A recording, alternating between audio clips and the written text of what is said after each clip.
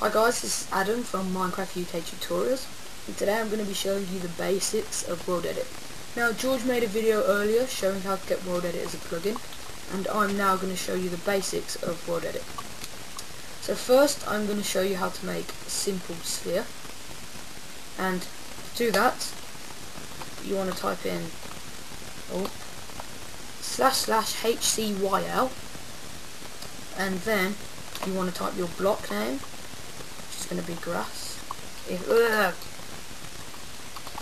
grass 5 by 5 and simply a sphere has been created which is 5 by 5 and now if you would want to copy that perfectly you would use the copy and paste tool which is pretty simple.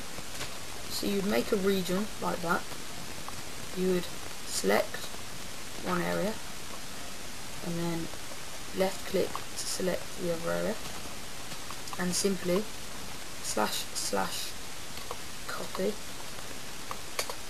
And fly somewhere else. And simply paste. And now if you're thinking oh that's looking ugly you can undo it.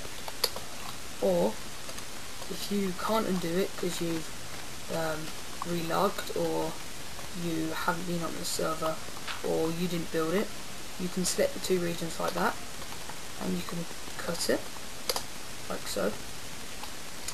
Or you can set it or fill it basically um,